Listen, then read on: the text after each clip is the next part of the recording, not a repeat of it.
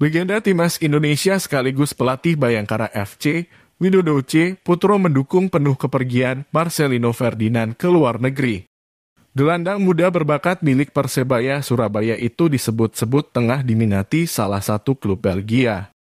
MCP sapaan akrabnya menilai sudah saatnya pemain muda seperti Marcelino Ferdinand untuk menjajal panggung yang lebih besar. Ia juga meyakini pemain berusia 18 tahun itu bisa sukses di benua Eropa. Tetapi ia mengingatkan bila bermain di luar negeri akan sangat sulit bagi pemain Indonesia. Tanpa mental yang kuat dan kemauan dari dirinya sendiri, akan sangat sulit melihat pemain itu bisa berkembang di perantauan. Semua itu ya tergantung dari pemain itu sendiri. Kalau dia homesick ya nanti akan nyaman bermain di daerahnya sendiri, kata Widodo. Tetapi saya yakin, talenta muda yang potensial yang dimiliki oleh Persebaya bahkan Indonesia ini akan berkembang.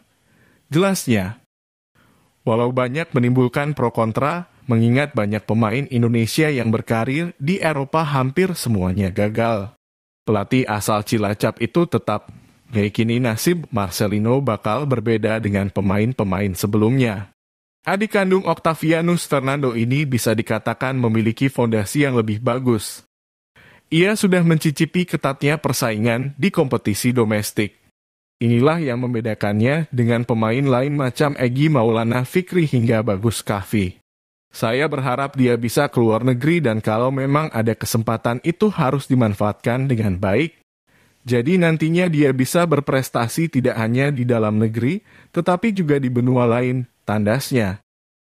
Harian Diswai mengklaim pemain berusia 18 tahun itu akan bergabung dengan klub kasta kedua, Berscott VA. Tim yang tengah duduk di peringkat ketiga itu memiliki peluang untuk promosi ke kasta tertinggi di musim.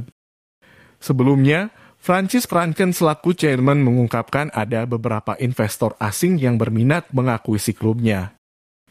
Menariknya, ada calon investor yang juga berasal dari Indonesia. Seperti tim fantastis lainnya, kami terkadang didekati oleh pihak yang berkepentingan, juga dari negara seperti AS atau Indonesia. Saya melihat itu sebagai tanda bahwa kami melakukannya dengan baik, ujar Franken melalui kanal YouTube resmi klub. Terima kasih sudah menonton. Jangan lupa like, komen, share, dan subscribe.